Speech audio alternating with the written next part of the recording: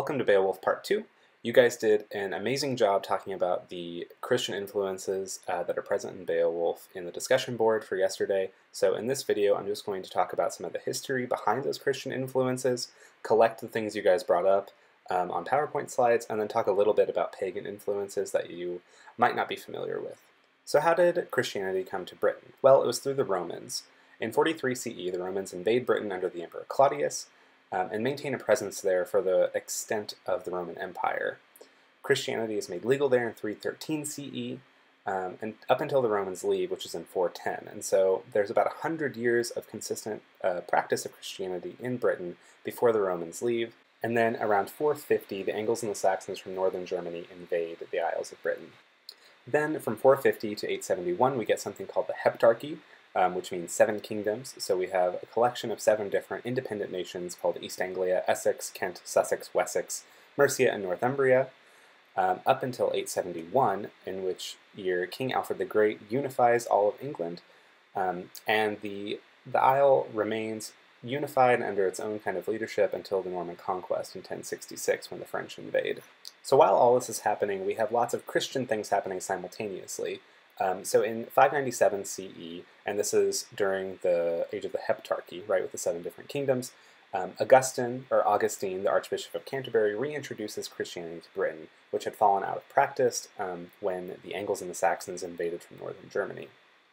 Right after this, in 601, Augustine baptizes the first Christian British king, Ethelbert of Kent, Okay, and then by the mid 7th century or the 650s, Christianity has won out in popularity across Britain.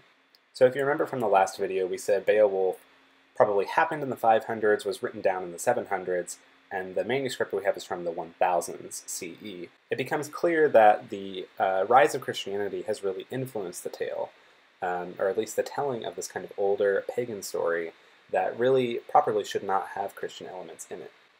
As I said at the beginning, you guys did a really wonderful job of picking out the Christian elements in the tale, uh, but I just wanted to round them up really quickly onto PowerPoint slides in the video.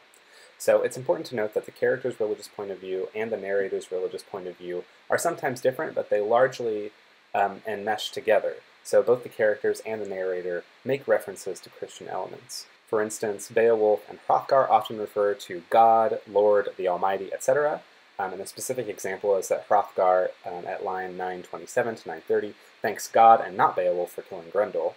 Um, Hrothgar's bard also tells of the creation story, um, which, given that it's capitalized in the manuscript, we probably think it's the biblical creation story. The narrator describes Grendel as a descendant of Cain, um, and our nice ekphrasis about the hilt of uh, Beowulf's sword depicts the flood destroying the giants.